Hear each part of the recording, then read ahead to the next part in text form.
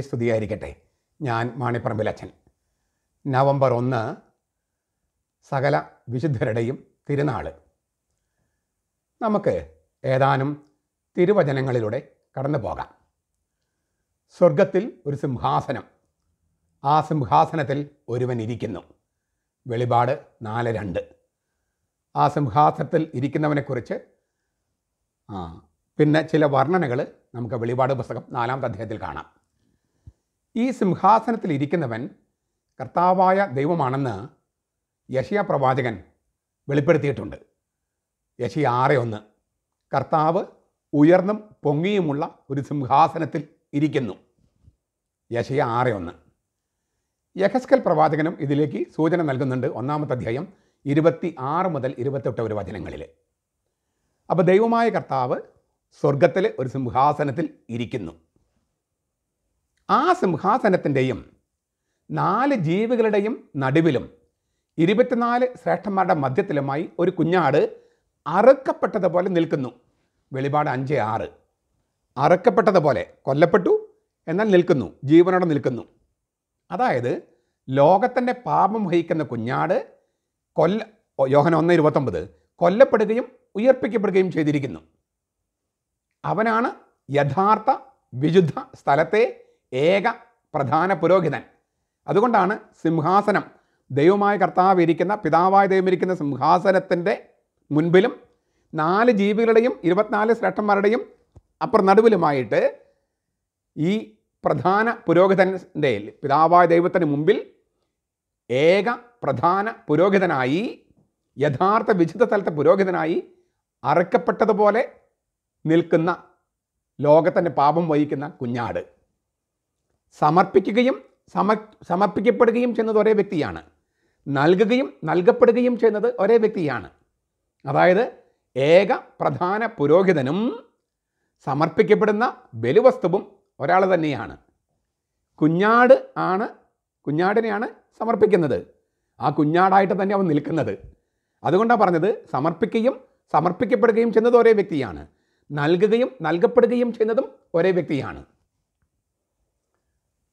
പിന്നെ ദൈവത്തിന്റെയും കുഞ്ഞാടിന്റെയും സിംഹാസനത്തിൽ നിന്ന് പുറപ്പെടുന്നതും പളുങ്ക് പോലെ ശുഭ്രമായതുമായ ജീവജലത്തിന്റെ നദി. വെളിപാട് ഇരുപത്തിരണ്ട് ഒന്ന്. ജീവജലത്തിന്റെ നദി. യേശുവിന്റെ പാർശ്വത്തിൽ നിന്നൊഴുകിയ ജീവജലമായ പരിശുദ്ധാത്മാവ്. യോഹനാൻ പത്തൊമ്പത് മുപ്പത്തിനാല്. ഇപ്പം നോക്കുക. ദൈവമായ കർത്താവ് സ്വർഗത്തിൽ സിംഹാസനത്തിൽ ഇരിക്കുന്നു. ആ സിംഹാസനത്തിന്റെയും നാല് ജീവികളെയും ഇരുപത്തിനാല് ശ്രേഷ്ഠന്മാരുടെയും മധ്യത്തിലായി ഒരു കുഞ്ഞാട് അരക്കപ്പെട്ടതുപോലെ നിൽക്കുന്നു. ദൈവത്തിന്റെയും കുഞ്ഞാടിന്റെയും സിംഹാസനത്തിൽ നിന്ന് പുറപ്പെടുന്ന ജീവജലത്തിന്റെ അരുവിയായ പരിശുദ്ധാത്മാവ്. പരിശുദ്ധ തൃത്തമായ ഏക ദൈവം ആ ദൈവത്തിലെ മൂന്നാളുകൾ. ഈ മൂന്നാളുടെ ആളുകളുടെ മുമ്പിൽ ആരൊക്കെയാണ് നിൽക്കുന്നത്?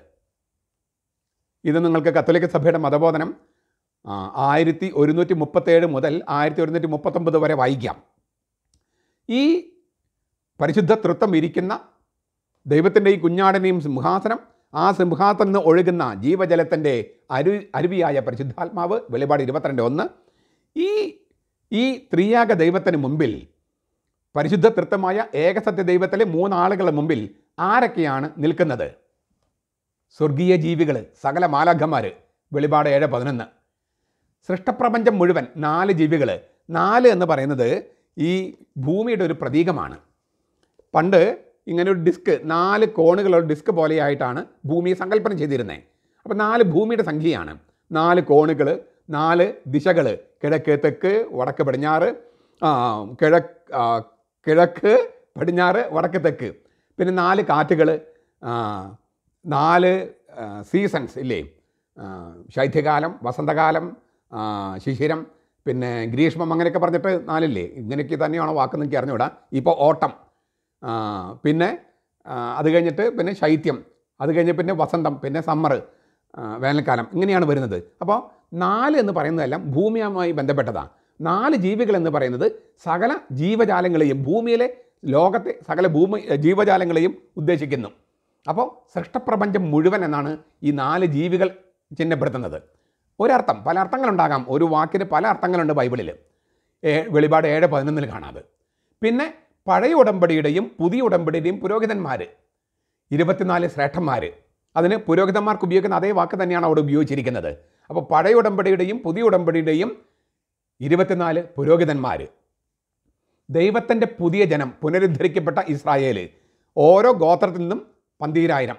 അങ്ങനെ പന്ത്രണ്ട് ഗോത്രത്തിൽ നിന്ന് പന്തീരായിരം ഒരു ലക്ഷത്തി നാൽപ്പത്തി നാലായിരം പേര് വെളിപാട് പുസ്തകം ഏഴാമത്തെ അധ്യായത്തിൽ കാണാം. അതായത് പുനരുദ്ധരിക്കപ്പെട്ട ഇസ്രായേൽ പിന്നെ രക്തസാക്ഷികൾ. ഈ വെളിപാട് പുസ്തകം ആറാമത്തെ അധ്യായം ഒമ്പത് മുതൽ പതിനൊന്ന് വരെ. നമ്മൾ മുമ്പൊരിക്കൽ കണ്ടിട്ടുണ്ട്. നമ്മൾ ഇന്നൊന്നുകൂടി കാണുക അത്. രക്തസാക്ഷികൾ. പിന്നെ സകല വിശുദ്ധർ വെളിപാട് പുസ്തകം എട്ടാമത്തെ അധ്യായം ഒന്ന് മുതൽ നാല് വരെ വാക്യങ്ങൾ. പിന്നെ സർവം പരിശുദ്ധിയായ ദൈവമാതാവ് യഥാർത്ഥ ഉടമ്പടിയുടെ പേടകവും മിശികാട് അമ്മയുമായ തേജസാർന്ന സൂര്യനെ ഉടയാടയാക്കിയ സ്ത്രീ പരിശുദ്ധ കന്യകാമറിയം. വെളിപാട് പുസ്തകം പതിനൊന്നാമത്തെ അധ്യായം പത്തൊമ്പത് മുതൽ പന്ത്രണ്ടാമത്തെ അധ്യായം ഒന്നാം വാക്യം വരെ. ഇതുകൂടാതെ സകല ജാതികളിലും ഗോത്രങ്ങളിലും വംശങ്ങളിലും ഭാഷകളിലും നിന്നുള്ളവരും ആർക്കും എണ്ണിത്തിട്ടപ്പെടുത്താൻ കഴിയാത്തതുമായ ഒരു മഹാജനക്കൂട്ടം വെള്ള നിലയങ്കി ധരിച്ച് കയ്യിൽ കുരുത്തോലയുമായി സിംഹാസനത്തിനും കുഞ്ഞാടനും മുൻപാകെ നിൽക്കുന്നത് കണ്ടു. സിംഹാസനം എന്ന് പറഞ്ഞാൽ ദൈവത്തെയാണ് ഉദ്ദേശിക്കുന്നത്. സിംഹാസനത്തിനും കുഞ്ഞാടനും മുൻപാകെ സകല ജാതികളിലും ഗോത്രങ്ങളിലും വംശങ്ങളിലും ഭാഷകളിൽ നിന്നുള്ളവരും ആർക്കും എണ്ണിത്തിട്ടപ്പെടുത്താൻ കഴിയാത്തതുമായ ഒരു മഹാജനക്കൂട്ടം. ആരാണ് ഈ ജനക്കൂട്ടമെന്നും നമുക്ക് കുറച്ച് കഴിഞ്ഞാൽ നമുക്ക് ചിന്തിക്കാം. ഇങ്ങനെ ഇത് ഇവരൊക്കെയാണ് ഈ ദൈവമായ കർത്താവിന്റെയും കുഞ്ഞാടിന്റെയും ജീവജലമായി പരിശുദ്ധാത്മാവിന് മുൻപാകെ നിൽക്കുന്നത്. സ്വർഗത്തിൽ ലിറ്റർജി നടക്കുകയാണ്. ആ സ്വർഗീയ ലിറ്റർജിയാണ് വെളിപാട് പുസ്തകം. അത് വെറുതെ ലോകാവസാനത്തെക്കുറിച്ച് മാത്രമാണെന്ന് പറയരുത്. നിങ്ങൾ വെളിപാട് പുസ്തകം വായിച്ച് നോക്കുക. എത്ര പ്രാവശ്യമാണ് അതിനകത്ത് സങ്കീർത്തനങ്ങൾ പാടുന്നത്? സങ്കീർത്തനങ്ങൾ പാടുകയാണ്. അമ്പത്തിനാല് സ്ഥലത്തെങ്കിലും ഞാൻ ലിറ്റർജി കണ്ടിട്ടുണ്ട് വെളിപാട് പുസ്തകത്തിൽ. ഇംഗ്ലീഷ് അറിയുന്നവർക്ക് അപ്പൊക്കലിപ്സ് അൺസീൽഡ് പറഞ്ഞിട്ട് എന്റെ ഒരു ഗ്രന്ഥമുണ്ട്. ആയിരത്തോളം പേജ് ഉണ്ട് ആളൊരു ബിബ്ലിയയിൽ കിട്ടും. ഇംഗ്ലീഷ് അറിയുന്നവർക്ക് വേണമെങ്കിൽ വായിക്കാം. ഞാനത് രണ്ട് തട്ടുകളിലായിട്ടാണ് പോയിരിക്കുന്നത്. ഒന്ന് യുഗാന്തം. യുഗാന്തത്തെക്കുറിച്ചുള്ള കാഴ്ചപ്പാട് വെളിപാട് പുസ്തകത്തിന് മറ്റൊന്ന് ലിറ്റർജിയെക്കുറിച്ചുള്ളത്. അത് രണ്ടും അത്രയും ചേർന്ന് പോകുന്നതാണ്. സഭാപിതാക്കന്മാരെല്ലാവരും പറഞ്ഞത് വെളിപാട് പുസ്തകം ലിറ്റർജിയാണെന്ന് അപ്പോൾ സ്വർഗത്തിൽ നടക്കുന്ന ലിറ്റർജി ആ ലിറ്റർജിയിൽ പങ്കെടുക്കുന്നതും പങ്കെടുക്കേണ്ട വിധങ്ങളും ഓരോരുത്തരും കൊടുത്തിരിക്കുന്ന ആർക്ക് എന്ത് ഭാഗമാണ് അവിടെ ചെയ്യാനുള്ളതൊക്കെ കൊടുത്തിട്ടുണ്ട്. അത് വെളിപാട് പുസ്തകത്തിനകത്ത് വളരെ മനോഹരമായിട്ട് അവതരിപ്പിച്ചിട്ടുണ്ട്. അപ്പോൾ ഭൂമിയിൽ നടക്കുന്ന ലിറ്റർജി സഭയിൽ നടക്കുന്ന ലിറ്റർജി എന്ന് പറയുന്നത് സ്വർഗത്തിൽ നടക്കുന്ന ഈ ലിറ്റർജിയിൽ ഈ സനാതന ആരാധനയിൽ സ്വർഗത്തിൽ നടക്കുന്ന നിത്യമായ ആരാധനയിൽ പങ്കെടുക്കാൻ പരിശുദ്ധാത്മാവും സഭയും നമ്മെ ഇപ്പോൾ പ്രാപ്തമാക്കുന്നതാണ് സഭയിലെ ലിറ്റർജി അഥവാ ആരാധന. പൊതുവായ ദൈവ ശുശ്രൂഷ എന്നാണ് ലിറ്റർജി എന്ന വാക്കിനർത്ഥം. പൊതുവായ ദൈവ ശുശ്രൂഷ ദൈവത്തെ ശുശ്രൂഷിക്കുക. ആ ദൈവത്തെ ശുശ്രൂഷിക്കുന്നതിനെയാണ് ലിറ്റർജി അല്ലെങ്കിൽ ആരാധന എന്ന് പറയുന്നത്. സ്വർഗത്തിൽ നടക്കുന്ന സനാതനമായ ആരാധനയിൽ പങ്കെടുക്കാൻ ഇപ്പോഴേ പങ്കെടുക്കാൻ അങ്ങനെ സ്വർഗത്തിൽ ചെല്ലുമ്പോൾ ശരിക്കും അതിൽ പങ്കെടുക്കുക യഥാർത്ഥ ആരാധന പങ്കെടുക്കാൻ ഇപ്പോഴേ ഒരു വിശ്വാസ പരിശീലനം. അതാണ് ഈ വചനപ്രഘോഷണമായ ലിറ്റേർജിയിൽ നടക്കുന്നത്. അതിൽ അതിൽ പങ്കെടുക്കാൻ നമ്മളെ പ്രാപ്തമാക്കുകയാണ് പരിശുദ്ധാത്മാവും സഭയും ഇപ്പോഴേ ചെയ്യുന്നത്. അപ്പം നമുക്ക് ഈ സകല വിശുദ്ധരൻ തിരുനാളിൽ നമുക്ക് ഈ വാക്ക് നമുക്ക് നമ്മൾ ഒരു കാര്യം ചിന്തിക്കാമെന്ന് പറഞ്ഞല്ലോ. അതായത് സകല ജാതികളിലും ഗോത്രങ്ങളിലും വംശങ്ങളിലും ഭാഷകളിൽ നിന്നുള്ളവരും ആർക്കും എണ്ണിത്തിട്ടപ്പെടുത്താൻ കഴിയാത്ത മഹാജനക്കൂട്ടം സ്വർഗത്തിൽ അവർ വെള്ള നിലയങ്കി ധരിച്ച് കയ്യിൽ കുരുത്തോലയുമായി. എന്തുകൊണ്ട് കുരുത്തോല? എന്തുകൊണ്ട് വെള്ള നിലയങ്കി? എന്നൊക്കെ നമുക്ക് ചിന്തിക്കാം. സ്വർഗത്തിൽ സിംഹാസൻ കുഞ്ഞാണ്ട് മുൻപാകെയാണ് ഇവർ നിൽക്കുന്നത്. അപ്പോൾ ആരാണ് ഇവരെന്ന് നമുക്ക് ആദ്യം ചിന്തിക്കാം. അവരെന്താ ചെയ്യുന്നത്? രക്ഷ എന്നത് സിംഹാസനത്തിൽ ഇരിക്കുന്നവനായ നമ്മുടെ ദൈവത്തിന്റെയും കുഞ്ഞാടിന്റെയും ദാനമാണെന്ന് അവർ ആർത്ത് വിളിച്ചുകൊണ്ടിരുന്നു. ഈ കുരുത്തോല കൈ പിടിച്ച് വെള്ള നിലയങ്കി ധരിച്ച് ഇത്രയും ആർക്ക് എണ്ണിത്തിട്ടപ്പെടുത്താൻ പറ്റാത്ത ആ മഹാജനക്കൂട്ടം പറയാണ് സ്വർഗത്തിൽ സിംഹാസനത്തിനും കുഞ്ഞാടിനും മുമ്പാകെ നിന്നുകൊണ്ട്. ഞാനത് ആവർത്തിക്കുകയാണ്. സ്വർഗത്തിൽ സ്വർഗത്തിൽ സിംഹാസനത്തിലിരിക്കുന്ന ദൈവത്തിനും കുഞ്ഞാടിനും മുമ്പാകെ നിന്നുകൊണ്ടാണ് ഇവർ പറയുന്നത്. സകല മാലാഖമാരും നമ്മൾ പറ കണ്ടു കഴിഞ്ഞതാണ് സകല സ്വർഗീയ ജീവികളും ഈ ആരാധനയിൽ പങ്കെടുക്കുന്നുണ്ടെന്ന്. സകല മാലകന്മാരും സിംഹാസനത്തിന്റെയും ശ്രേഷ്ഠന്മാരുടെയും നാല് ജീവികളെയും ചുറ്റും നിന്ന് സിംഹാസനത്തിന് മുമ്പിൽ കമിഴ്ന്നു വീണു. ഈ കമിഴ്ന്ന് വീടലാണ് നമസ്കരിക്കലാണ് ആരാധന. ആമേൻ എന്നവർ ഉച്ചരിച്ചു. നമ്മുടെ ദൈവത്തിന് എന്നേക്കും സ്തുതിയും ബഹത്വവും ജ്ഞാനവും സ്തോത്രവും ബഹുമാനവും ശക്തിയും ബലവും ആമേൻ എന്ന് പറഞ്ഞ് അവർ ദൈവത്തെ നമസ്കരിച്ചു. വെളിപാട് പുസ്തകം ഏഴാമത്തെ അധ്യയം ഒമ്പത് പന്ത്രണ്ട്. സ്വാഭാവികമായിട്ടും ഇവർ ചെയ്ത കാര്യം നമുക്ക് മനസ്സിലായി. രക്ഷ എന്നത് സിംഹാസനത്തിലിരിക്കുന്ന നമ്മുടെ ദൈവത്തിന്റെയും കുഞ്ഞാടേയും ദാനമാണ്. പിന്നെ അവർ നമസ്കരിക്കുന്നു ആരാധിക്കുന്നു. മറ്റുള്ളൊരു കൂട്ടത്തിലും ആരാധിക്കുന്നു. അപ്പോൾ ഈ ശ്രേഷ്ഠന്മാരിൽ ഒരാൾ ഇരുപത്തിനാല് ശ്രേഷ്ഠന്മാരിൽ പുരോഹിതന്മാരിൽ ഒരാൾ ഈ യോഹനാനോട് ചോദിച്ചു വെള്ള നിലയങ്കി ധരിച്ചിരിക്കുന്ന ഇവരാരാണ്? അവരെവിടെ നിന്ന് വരുന്നു? അപ്പോൾ യോഹന്നാൻ വെളിപാട് കിട്ടിയ യോഹന്നാൻ പറഞ്ഞു യജമാനനെ അങ്ങേക്കറിയാമല്ലോ. എന്നോട് എന്ത് ചോദിക്കുന്നത് അങ്ങേക്കറിയാമല്ലോ. അപ്പോൾ ഈ ശ്രേഷ്ഠന്മാരിൽ ഒരാൾ യോഹനാന് വെളിപാട് കൊടുത്തു. മറുപടിയായി പറഞ്ഞു ഇവർ മഹാകഷ്ടത്തിൽ നിന്ന് വരുന്നവരാണ്. കുഞ്ഞാടിന്റെ രക്തത്തിൽ തങ്ങളുടെ അങ്കി അലക്കി വെളുപ്പിച്ചു. രക്തത്തിൽ മുക്കിയാൽ ചുവക്കല്ലേ ചെയ്യാം? ഇവിടെ വെളുത്തിരിക്കുകയാണ്. കുഞ്ഞാടിന്റെ രക്തത്തിൽ തങ്ങളുടെ അങ്കി അലക്കി വെളുപ്പിച്ചിരിക്കുന്നു. അതായത് കുഞ്ഞാടിന് വേണ്ടി ജീവിച്ചു മരിച്ചു. അപ്പോൾ അവർക്ക് വെള്ള നിലയങ്കി കിട്ടി. ഈ വെള്ള നിലയങ്കിയുടെ ഒരു പ്രതീകമാണ് നമ്മൾ മാമോദിസം മുക്കുമ്പോൾ കുഞ്ഞ് കുഞ്ഞുങ്ങളെ ധരിപ്പിക്കുന്നത്. അതായത് അവർ യേശുവിനോടൊത്ത് മരിച്ച് ഉത്ഥാനം ചെയ്തു. അവർക്ക് വെള്ളം നിലയങ്കി കിട്ടി. അതായത് ഉത്ഥാനത്തിൽ ഇപ്പോഴേ പങ്കെടുക്കുകയാണ് മാമോദിസം സ്വീകരിക്കുമ്പോൾ. അത് ഈ പെന്തക്കൊസ ദൈവസഭക്കാർ പറയുന്ന പോലെ ഏതെങ്കിലും പുഴയിലേക്ക് മുങ്ങുന്നതല്ല. മറിച്ച് യേശുവിന്റെ പാർശ്വത്തിൽ തുറന്നു കിടക്കുന്ന പാർശ്വത്തിൽ അവിടെ നിന്നൊഴുകിയ ജീവജലത്താലും അവിടെ നിന്നൊഴുകിയ ജീവരക്തത്താലും ഒട്ടിച്ച് ചേർക്കപ്പെടുന്നതാണ്. റോമാലേഖനം പതിനൊന്നാമത്തെ അധ്യായത്തിൽ അങ്ങനെ പറയുന്നത്. യേശു പറഞ്ഞിട്ടുണ്ട് ഞാൻ സാക്ഷാൽ മുന്തിരിവള്ളി നിങ്ങൾ നിങ്ങൾ ശാഖകൾ നമ്മളെങ്ങനെ യേശുവിന്റെ ശാഖയാവണേ ഇങ്ങനെ മാമദിസായിൽ അവനെ തുറന്നു കിടക്കുന്ന പാർശ്വത്തിൽ നമ്മൾ ഒട്ടിച്ച് ചേർക്കപ്പെടുമ്പോഴാണ്. അതിന് വേണ്ടിയിട്ട് അത് ആ ആ പാർശ്വം തുറന്നു കിടക്കുന്നത്. അങ്ങനെ യേശു പ്രത്യക്ഷപ്പെട്ടപ്പോഴൊക്കെ അത് കാണിക്കുകയും ചെയ്തു. അത് നമ്മൾ അവിടെയാണ് ഒട്ടിച്ച് ചേർക്കപ്പെടുന്നതെന്ന് ബോധ്യപ്പെടുത്തുകയാണ്. അപ്പോൾ അവിടെ നിന്നൊഴുകിയ ജീവജലത്താലും അവിടെ നിന്നൊഴുകിയ ജീവരക്തത്താലും നമ്മുടെ ജീവിതം വെളുപ്പിച്ചിരിക്കുകയാണ്. അതായത് ഉത്ഥാനത്തിൽ ഉത്ഥാനത്തിൽ ഇപ്പോഴേ പങ്കെടുത്തിരിക്കുന്നു. അതാണ് മാമദിസായിൽ. ഇവർ മഹാകഷ്ടത്തിൽ രക്തസാക്ഷിയായിട്ട് മരിച്ച് ജീവിച്ച് മരിച്ച് കുഞ്ഞാട് രക്തസാക്ഷിയായിട്ട് മരിച്ചതുപോലെ ഇവരും മരിച്ചിരിക്കുന്നു. അങ്ങനെ അവരുടെ വസ്ത്രം വെളുത്തിരിക്കുന്നു. അതുകൊണ്ട് കുഞ്ഞാടിന്റെ രക്തത്തിൽ തങ്ങളുടെ അങ്കി അലക്കി വെളുപ്പിച്ചിരിക്കുന്നത് കൊണ്ട് അവർ ദൈവത്തിന് സിംഹാസനത്തിന് മുമ്പിലിരുന്ന് അവന്റെ ആലയത്തിൽ രാപ്പകൽ അവനെ ആരാധിക്കുന്നു. അതുകൊണ്ട് അവർ ദൈവത്തിന് സിംഹാസനത്തിന് മുമ്പിലിരുന്ന് അവന്റെ ആലയത്തിൽ രാപ്പകൽ അവനെ ആരാധിക്കുന്ന സ്വർഗത്തിൽ സിംഹാസനത്തിൽ ഇരിക്കുന്നവൻ അവർക്ക് കൂടാരമായിരിക്കും. കണ്ടോ? ഇനി അവർക്ക് വിശക്കില്ല ദാഹിക്കില്ല വെയിലും യാതൊരു ചൂടും അവരുടെ മേൽ തട്ടുകയില്ല. സിംഹാസനത്തിന്റെ മധ്യയുള്ള കുഞ്ഞാട് അവരെ മേയിച്ച് ജീവജലത്തിന്റെ ഉറവകളിലേക്ക് നടത്തുന്നു. ഇതാണ് ഈ പറഞ്ഞ അതായത് ആർക്കും എണ്ണിത്തിട്ടപ്പെടുത്താൻ കഴിയാത്ത അത്രമുള്ള മഹാജനക്കൂട്ടം സ്വർഗത്തിൽ സിംഹാസനത്തിന്റെ മുമ്പിൽ ദൈവത്തിന്റെ സിംഹാസനത്തിന് മുമ്പിൽ അത് സകല ജാതികളിൽ ഗോത്രങ്ങളിൽ വംശങ്ങളിൽ ഭാഷകളിൽ ഇപ്പം നിങ്ങൾക്ക് മനസ്സിലായോ ആരാണ് സകല വിശുദ്ധരെന്നുള്ളത്? ഈ സകല വിശുദ്ധരെ കുറിച്ച് വെളിപാട് ദിവസം വെളിപ്പെടുത്തിയിട്ടുണ്ട്. അവരെന്ത് ചെയ്തെന്നും എങ്ങനെ അവിടെ എത്തിയെന്നും ഇപ്പോൾ എന്താ ചെയ്യുന്നതെന്നും പറഞ്ഞിട്ടുണ്ട്. അവരെന്തുകൊണ്ട് കുരുത്തോല പിടിച്ചിരിക്കുന്നത്? കുരുത്തോല. ഓശാന ഞായറാഴ്ച ഈന്തപ്പനയോല അല്ലെങ്കിൽ കുരുത്തോല പിടിച്ചു എന്നാണ് ആ, യോഹനാന്റെ സുവിശേഷത്തിൽ പറഞ്ഞിരിക്കുന്നത് കുരുത്തോല അല്ലെങ്കിൽ ഈന്തപ്പനയോല എന്നതിനുള്ള ഗ്രീക്ക് വാക്ക് ഫൊയിനിക്സ് എന്നാണ് ഫൊയിനിക്സ് അതിൽ നിന്നാണ് ഫീനിക്സ് എന്ന് വരുന്നത്. ഫീനിക്സ് പക്ഷിയെക്കുറിച്ച് നിങ്ങൾ കേട്ടിട്ടുണ്ടാവും. ഒരു മിത്തിക്കൽ പക്ഷിയാണത്. ഒരു പുരാണങ്ങളിലുള്ള പക്ഷി. പക്ഷെ അത് യേശുക്രിസ്തു നന്നായിട്ട് ചേരുന്ന ഒരു പ്രതീകമാണ്. പ്രകൃതിയിലെ പ്രതീകങ്ങൾ ഉപയോഗിച്ചുകൊണ്ടാണല്ലോ നമുക്ക് ദൈവത്തെ അടയാളപ്പെടുത്താൻ പറ്റൂ. പരിശുദ്ധാലുമന് പ്രാവ് അഗ്നി അഗ്നിനാവുകൾ ജീവജലം ഇതെല്ലാം പ്രകൃതിയിലെ അടയാളങ്ങളാണ്. നമ്മൾ ഈ പ്രകൃതിയിൽ ജീവിക്കുന്നത്. നമ്മെ ദൈവം സൃഷ്ടിച്ചത് പ്രകൃതിയിലാണ് അപ്പോൾ ഈ പ്രപഞ്ചത്തിലെ പല കാര്യങ്ങളും ഉണ്ടെങ്കിലേ ദൈവത്തെ മനസ്സിലാക്കാൻ കഴിയൂ. പ്രപഞ്ചത്തിലെ കാര്യങ്ങൾ ഉണ്ടാക്കുന്ന പറയുമ്പോഴേക്കും പെന്തകോസ ദൈവസഭക്കാരും യഹോവ നമ്മൾ ആക്രമിക്കാൻ വരും വിഗ്രഹാരാധന എന്ന് പറഞ്ഞിട്ട്. അവർക്ക് ബൈബിൾ അറിയില്ല എന്ന് മനസ്സിലാക്കിയാൽ മതി. ഞാൻ പലർക്കും നമ്മുടെ ഈ കമന്റുകൾക്ക് മറുപടി കൊടുത്തിട്ടുണ്ട്. നിങ്ങൾ അതുകൂടി വായിച്ചിട്ടുള്ളൂ. ഈ നമ്മൾ എതിർക്കാൻ വരുന്നവർക്ക് ഞാൻ മറുപടി കൊടുത്തിട്ടുണ്ട്. തിരുവചനങ്ങൾ വെച്ചുകൊണ്ടാണ് മറുപടി കൊടുത്തിരിക്കുന്നത് നിങ്ങൾ അതുകൂടി ഒന്ന് കാണണമെന്ന് ഞാൻ ആഗ്രഹിക്കുന്നു. ചുരുക്കത്തിൽ ഫീനിക്സ് എന്ന പക്ഷി. അത് മിത്തിക്കൽ പക്ഷിയാണെങ്കിലും യേശുക്രിസ്തുവിനെ ചിഹ്നപ്പെടുത്താൻ വളരെ മനോഹരമാണ്. കാരണം എന്താ? ഒറ്റ പക്ഷി ഉണ്ടാവുള്ളൂ. യുണീക്ക് അല്ലേ ആ ജനസിൽപ്പെട്ട ഒരേ ഒരു പക്ഷിയുള്ളൂ അത് മരിക്കുന്നു.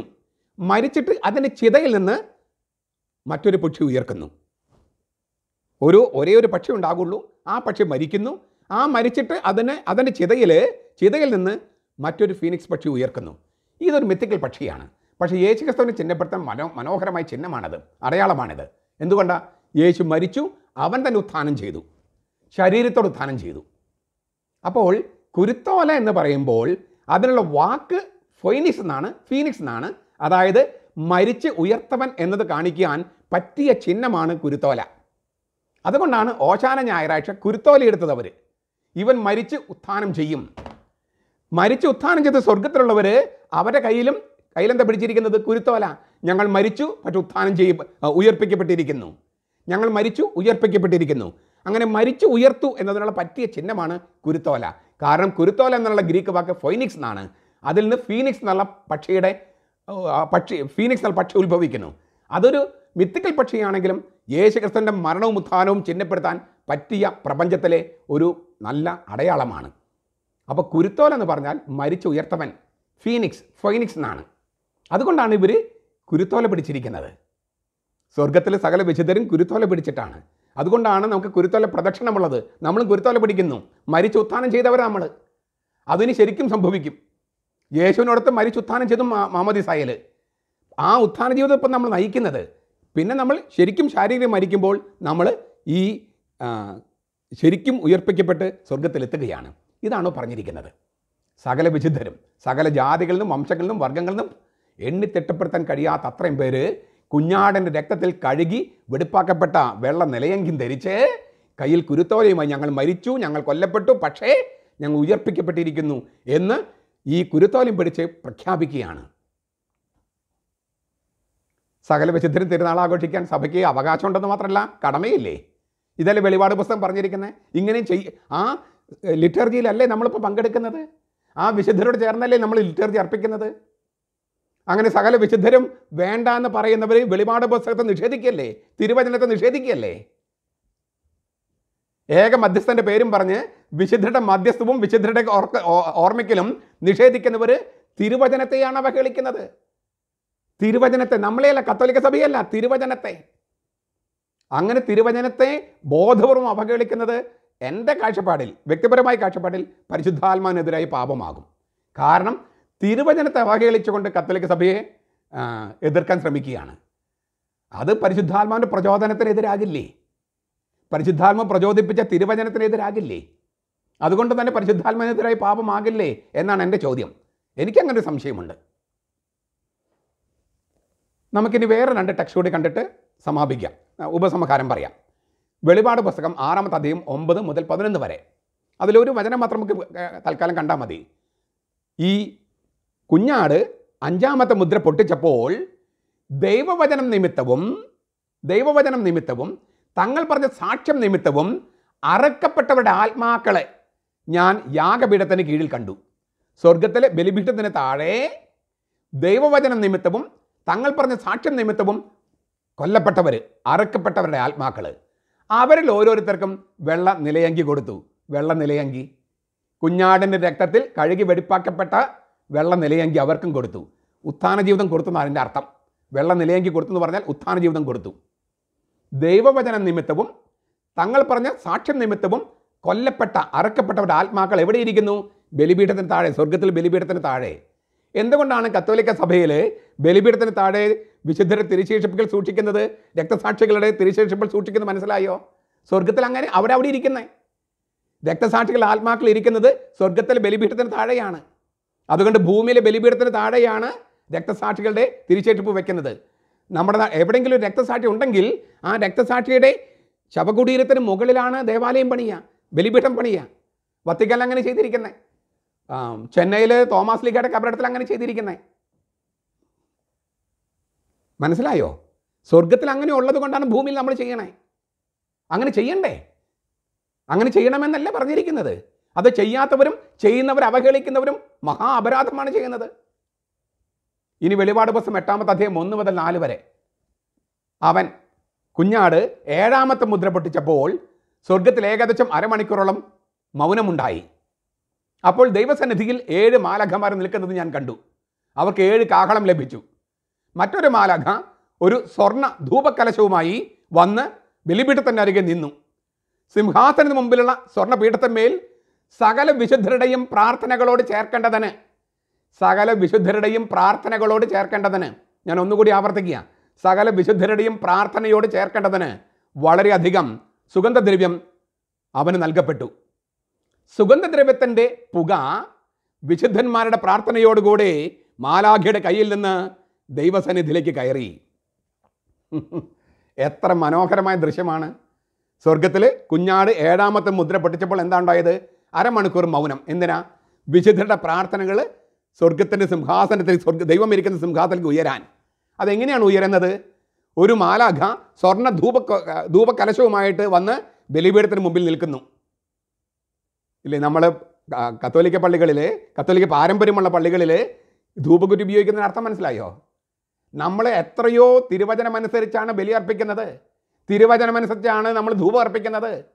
ഇതൊക്കെ തെറ്റാണെന്ന് പറഞ്ഞ് പഠിപ്പിക്കുന്ന യഹോവാ സാക്ഷികളും പന്തക്കോസ് ദൈവസഭക്കാരും തിരുവചനത്തിനെതിരെ പരിശുദ്ധാത്മാവിനെതിരെ തെറ്റ് ചെയ്യുന്നു.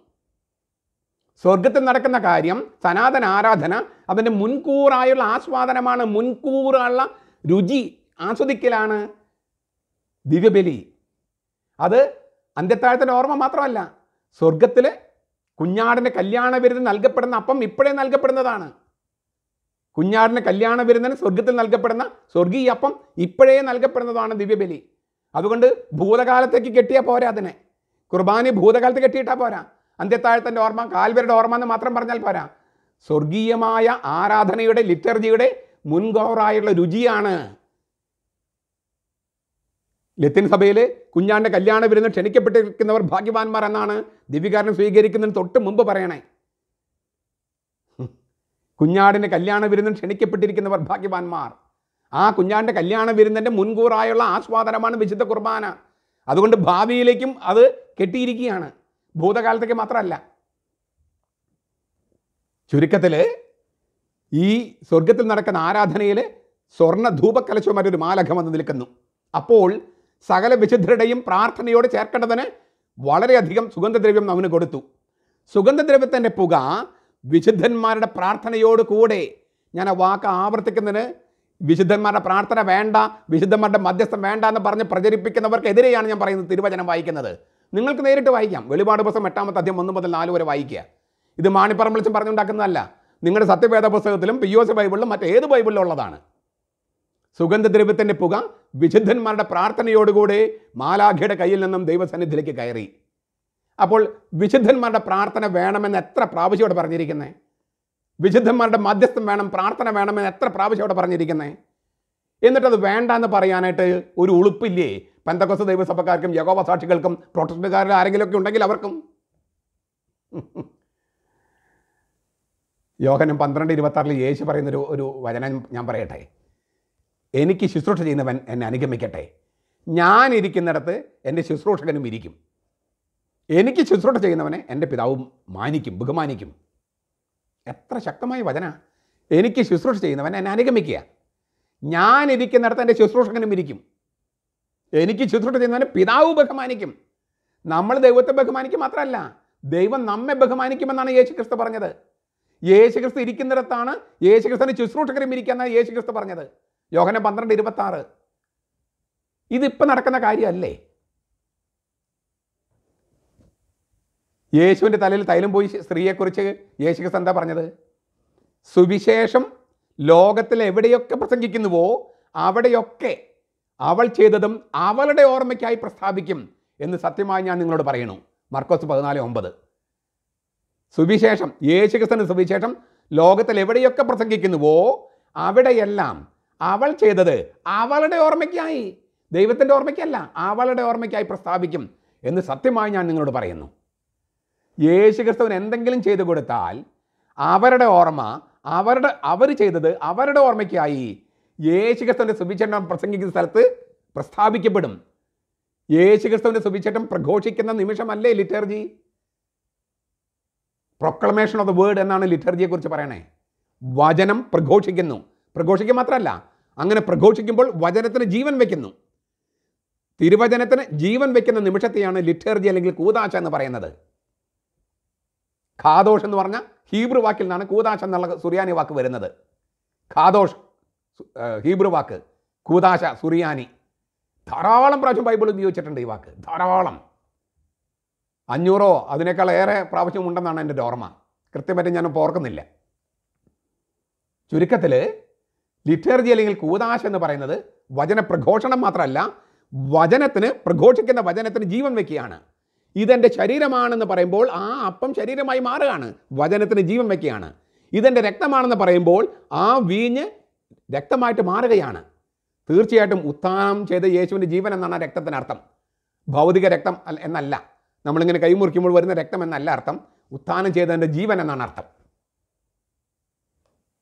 ചുരുക്കത്തിൽ ഏക മധ്യസ്ഥൻ വേണം. ഏക മധ്യസ്ഥനേ ഉള്ളൂ. ഒരു സംശയവുമില്ല. പക്ഷേ വിശുദ്ധരുടെ പ്രാർത്ഥനകളും മധ്യസ്ഥം വേണമെന്ന് തിരുവചനം തന്നെ വെളിപ്പെടുത്തിയിട്ടുണ്ട്. ഏക മധ്യസ്ഥനെ ഉള്ളൂ എന്ന് പറഞ്ഞ അതേ ബൈബിൾ തന്നെയാണ് അതേ സത്യവേദ പുസ്തകവും പി ഒ സി ബൈബിളും മറ്റു ബൈബിളുകളും തന്നെയാണ് വിശുദ്ധരുടെ പ്രാർത്ഥനകൾ വേണമെന്നും എഴുതിയിരിക്കുന്നത്. ഒരു വചനം മാത്രം മതി മുറുകെ പിടിക്കുകയും മറ്റു വചനങ്ങളെ തമസ്കരിക്കുകയും ചെയ്യുന്നത് മനുഷ്യർക്ക് ചേർന്നതല്ല. മനുഷ്യർക്ക് ചേർന്നതല്ല. മാന്യന്മാർക്ക് ചേർന്നതാണെന്ന് ഞാൻ പറയാൻ വന്നേ. ഇപ്പം എനിക്ക് തോന്നി അതല്ല. മാന്യന്മാർക്ക് മാത്രമല്ല മനുഷ്യർക്കേ ചേർന്നതല്ല. അപ്പം നമുക്ക് ചോദിക്കാം ഓരോ ദിവസവും ഓരോ വിശുദ്ധരുടെ തിരുനാളുകൾ ഉണ്ടല്ലോ. പിന്നെ തന്നെ സകല വിശുദ്ധരുടെയും. കത്തോലിക്ക സഭയിൽ പ്രഖ്യാപിക്കപ്പെട്ട വിശുദ്ധർ തന്നെ പതിനോരായിരത്തിലധികം പേരുണ്ട്. പതിനോരായിരത്തിലധികം ഉണ്ട്. മുന്നൂറ്റി അറുപത്തഞ്ച് ദിവസമേ ഉള്ളൂ. അപ്പോൾ ഓരോ ദിവസത്തേക്കും ഒരു അഞ്ച് ആറ് വിശുദ്ധരുടെ തിരുനാളുകൾ ഉണ്ടാവും. അതിനകത്ത് ഓരോ പ്രധാനപ്പെട്ട തിരുനാൾ നമ്മൾ ആഘോഷിക്കുന്നു. മറ്റുള്ളവരൊക്കെ ഓർത്ത് വിടുന്നു പക്ഷേ വിശുദ്ധരായി ജീവിച്ചവർ എന്തുമാത്രമുണ്ട് നമ്മൾ കണ്ടു കഴിഞ്ഞു. സകല ജാതികളിലും സകല ഗോത്രങ്ങളിലും വംശങ്ങളിലും ഭാഷകളിൽ നിന്നുള്ളവരും ആർക്കും എണ്ണിത്തിട്ടപ്പെടുത്താൻ കഴിയാത്തതുമായ മഹാവിശുദ്ധ ജനക്കൂട്ടം. അത്ര അധികം വിശുദ്ധരുണ്ട്. അവരെല്ലാവരും പേര് നമുക്ക് ഓർക്കാൻ അറി പറ്റില്ല അറിയില്ല. അപ്പോൾ അവരെല്ലാം ഓർക്കാൻ അവരെവിടെയാണെന്നെല്ലാം നമ്മൾ കണ്ടു കഴിഞ്ഞു. അത് ഓർക്കുന്ന ദിവസമാണ് സകല വിശുദ്ധരുടെയും. നാലാം ശതകം മുതൽ ഈ തിരുനാൾ ആചരിക്കുന്നുണ്ട്. ഉയർപ്പ് തിരു- തിരുനാൾ പെന്തകസ്ത തിരുനാളൊക്കെ അതിനോട് അടുപ്പിച്ചാണ് പണ്ട് ആചരിച്ചിരുന്നത് പിന്നെ ഇത് ഒമ്പതാം ശതകം മുതൽ നവംബർ ഒന്നാം തീയതിയാണ് പാശ്ചാത്യ സഭയിൽ ആചരിക്കുന്നത്. മറ്റ് ഓർത്തഡോക്സ് സഭകളിലൊക്കെ എപ്പോഴാണെന്ന് എനിക്ക് കൃത്യം അറിയില്ല. എട്ടാം നൂറ്റാണ്ട് മുതലുണ്ടെന്നാണ് ഞാൻ മനസ്സിലാക്കണേ. അതായത് ലിയോ എന്ന് പറഞ്ഞൊരു ചക്രവർത്തിയുടെ പേരിലൊരു ഒരു ഒരു പള്ളി സ്ഥാപിക്കണമെന്നോ മറ്റോ വന്നു കഴിഞ്ഞപ്പോൾ അങ്ങനെയല്ല വേണ്ടത്. അദ്ദേഹത്തിന്റെ ഭാര്യയുടെ പേരിലോ മറ്റോ വേണമെന്ന് പറഞ്ഞപ്പോൾ അങ്ങനെയല്ല. സകല വിശുദ്ധരുടെ നാമത്തിൽ പള്ളി സ്ഥാപിക്കാം. അങ്ങനെയാണ് എട്ടാം നൂറ്റാണ്ട് മുതലോ ഒമ്പതാം നൂറ്റാണ്ട് മുതലാണ് ഈ ആ, പൗരസ്ത്യ പാരമ്പര്യത്തിൽ ഈ സകല വിശുദ്ധരുടെ തിരുനാൾ ആചരിച്ച് തുടങ്ങിയെന്നാണ്. എന്ന് വെച്ചാൽ ഈ അടുത്ത കാലത്ത് തുടങ്ങിയതല്ല. നാലാം നൂറ്റാണ്ട് മുതലെങ്കിലും ഈ തിരുനാളുണ്ട്. തീയതികൾ അല്പം അങ്ങോട്ടും ഇങ്ങോട്ടൊക്കെ മാറിയിട്ടുണ്ടാകും.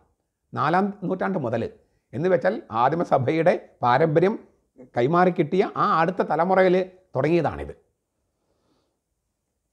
ഞാൻ നേരത്തെ പറഞ്ഞൊന്ന് ആവർത്തിക്കുകയാണ്. ഏക മധ്യസ്ഥൻ എന്ന് യേശുവിനെ വിശേഷിപ്പിക്കുന്ന വേദപുസ്തകം തന്നെയാണ് ഇക്കാര്യങ്ങളും വെളിപ്പെടുത്തിയത്. ഞാൻ തിരുവചനങ്ങളാണ് വായിച്ചത്. ഏക മധ്യസ്ഥനെക്കുറിച്ചുള്ള വചനം മാത്രം അംഗീകരിക്കുക ഈ തിരുവചനങ്ങളെ തമസ്കരിക്കുക. മാത്രമല്ല അത് ഉപയോഗിച്ചിട്ട് ഈ ഏക മധ്യസ്ഥനെക്കുറിച്ചുള്ള തിരുവചനം ഉപയോഗിച്ചിട്ട് കത്തോലിക്ക സഭ ചെയ്യുന്ന മുഴുവൻ തെറ്റാണ് നരകത്തിൽ പോകുമെന്ന് പറഞ്ഞ് പേടിപ്പിച്ച് ആളുകൾ തട്ടിക്കൊണ്ടു പോവുക ഇത് ആയിരത്തി തൊള്ളായിരത്തി അറുപതുകളിൽ തുടങ്ങിയ ബന്ധപുസ്തകാരും ദൈവസഭക്കാരും ഒക്കെ ചെയ്തതാണ്. എന്നിട്ട് അവർ പറയും അവരാണ് ദൈവസഭ. അമേരിക്കയിൽ ആയിരത്തി തൊള്ളായിരത്തി അറുപതിലാണല്ലോ യേശു ക്രിസ്തു പോയിട്ട് ദൈവസഭ സ്ഥാപിച്ചത്. ആയിരത്തി തൊള്ളായിരത്തി അറുപതിൽ അപ്പോൾ ഈ ഇരുപത് നൂറ്റാണ്ട് എവിടെയായിരുന്നു ഇവരൊക്കെ? കത്തോലിക്ക സഭയിൽ നിന്ന് തട്ടിക്കൊണ്ട് പോകാത്ത ആരെങ്കിലും അവരുടെ സഭകളിലുണ്ടോ? എന്നിട്ട് കത്തോലിക്ക സഭയ്ക്ക് ഇല്ലാത്ത അപരാധമില്ല കത്തോലിക്ക സഭയിൽ നിന്ന് ആളുകൾ തട്ടിക്കൊണ്ട് പോകുക കത്തോലിക്ക സഭയാണ് ലോകം മുഴുവൻ സുവിശേഷം പ്രചരിപ്പിച്ചെന്ന് ഓർക്കണം. ലോകം മുഴുവൻ. ഇവരൊന്നുമല്ല. ഇരുപത് നൂറ്റാണ്ട് ഇവർ കാണാനുണ്ടായിരുന്നില്ല. എന്നിട്ട് ഇരുപത് നൂറ്റാണ്ട് കഴിഞ്ഞപ്പോൾ പൊട്ടിമുളച്ച് വന്നൊരു സഭ പറയാണ് ഇരുപത് നൂറ്റാണ്ട് ചെയ്ത കത്തോലിക്ക സഭ മുഴുവൻ തെറ്റാണ്. എന്നിട്ട് അതിലത്തെ ആളുകൾ തട്ടിക്കൊണ്ട് പോവുക. പോകാനായിട്ട് കുറേ ഉണ്ട് താനും. ഏക സൃഷ്ടാവ് അല്ലേ? ഏക സത്യദൈവം. പക്ഷെ മൂന്നാളുകളല്ലേ? അപ്പോൾ ഏക എന്ന വാക്ക് മൂന്നിനെ ഖണ്ഡിക്കുന്നുണ്ടോ? പെന്തക്കോസ് ദൈവസഭക്കാരോടും യോഗപസാക്ഷികളോടൊക്കെ എന്റെ ചോദ്യം. ഏക സത്യദൈവം ഏക സൃഷ്ടാവ് പക്ഷെ മൂന്നാളുകളാണ്. അപ്പോൾ ഏകം എന്നുള്ളത് ഈ തൃത്വം എന്നതിനെ ഖണ്ഡിക്കുന്നുണ്ടോ? നിഷേധിക്കുന്നുണ്ടോ? ഇല്ലല്ലോ. ഏക പുരോഹിതനേ ഉള്ളൂ യേശു ക്രിസ്തു നമ്മൾ കണ്ടു കഴിഞ്ഞതാണത്. പക്ഷേ അവനെ ശുശ്രൂഷിക്കുന്നവരില്ലേ? ശുശ്രൂഷകർ അവൻ തന്നെയല്ലേ വാഴിച്ചത്? ഈ പന്ത്രണ്ട് പേരെ തെരഞ്ഞെടുത്ത് വാഴിച്ചതല്ലേ? പുരോഹിതന്മാരെ വാഴിച്ചതല്ലേ? അങ്ങനെ പൗരത്വത്തെക്കുറിച്ച് നമുക്ക് പിന്നീട് ഒരിക്കൽ വളരെ വിശദമായിട്ട് പിന്നീട് കാണാം. ഇതെങ്ങനെയാണ് പൗരോഹിത്യം സഭയിൽ തുടർന്ന് വന്നെന്ന കാര്യം നമുക്ക് പിന്നീട് നമുക്ക് വിശദമായിട്ട് കാണാം. അപ്പോൾ ഏക പുരോഹിതൻ മറ്റ് പുരോഹിതന്മാരെ വെച്ചിരിക്കുന്നു. ഏക സ്രഷ്ടാവ് ഇല്ലേ? മൂന്നാളുകൾ തീർന്നില്ല. ഈ ഏക സൃഷ്ടാവ് ഇന്ന് എങ്ങനെ സൃഷ്ടിക്കുന്നത്? നമ്മുടെ മാതാപിതാക്കളൊക്കെ അവന്റെ സൃഷ്ടികർമ്മത്തിൽ പങ്കാളിയാക്കുകയല്ലേ? അപ്പോൾ നമ്മുടെ മാതാപിതാക്കന്മാർ ഇല്ലേ? ജനകൻ എന്ന് പറയുന്ന നമ്മളുടെ മാതാപിതാക്കന്മാരുടെ സൃഷ്ടാക്കളായിട്ട് കർത്താവ് ഏക സൃഷ്ടാവിലേക്ക് സഹകരിപ്പിക്കല്ലേ അപ്പോഴല്ലേ ഏക സൃഷ്ടാവിനും മാന്യത വരുന്നത്? അപ്പോഴല്ലേ ഏക സൃഷ്ടാവിന് ആദരവുണ്ടാകുന്നത്? അല്ലാണ്ട് ഏകഛത്രാധിപതികളെ പോലെ ഹിറ്റ്ലറിനെ പോലെയോ ഒക്കെ അങ്ങനെയാണോ ദൈവം ആയിരിക്കേണ്ടത് ഏക സൃഷ്ടാവ് നമ്മുടെ മാതാപിതാക്കളെയും മറ്റും അവനുമായിട്ട് സഹകരിപ്പിക്കുമ്പോഴല്ലേ ആ സൃഷ്ടാവിന് ആദരവും ബഹുമാനവും ഉണ്ടാകുന്നത്? അതുപോലെ ഏക പൗരോഹിതൻ മറ്റ് പുരോഹിതന്മാരെ അവന്റെ പൗരോഹിതത്തിൽ പങ്കെടുപ്പിക്കുമ്പോഴല്ലേ ആ പൗരോഹിത്വത്തിന് മാന്യത ഉണ്ടാകുന്നത്? അല്ലാതെ ഈ ഡിക്റ്റേറ്റർ പോലെ വാഴ വാഴുന്നതാണോ? അതുപോലെ തന്നെയാണ് ഏക മധ്യസ്ഥൻ. ഏക മധ്യസ്ഥൻ മറ്റുള്ളവരുടെ മധ്യസ്ഥം നിഷേധിക്കുകയല്ല അംഗീകരിക്കുകയാണ്. ഭൂമിയിലായിരുന്നു അങ്ങനെ ചെയ്തിട്ടുണ്ട്. കാനാലും മറിയത്തിന്റെ വാക്ക് കേട്ടാണ് വീഞ്ഞുണ്ടാക്കിയത്. പത്രോസിന്റെ അമ്മായമ്മയെ സുഖപ്പെടുത്താൻ മറ്റുള്ളവർ പറഞ്ഞപ്പോഴാണ് ചെയ്തത്.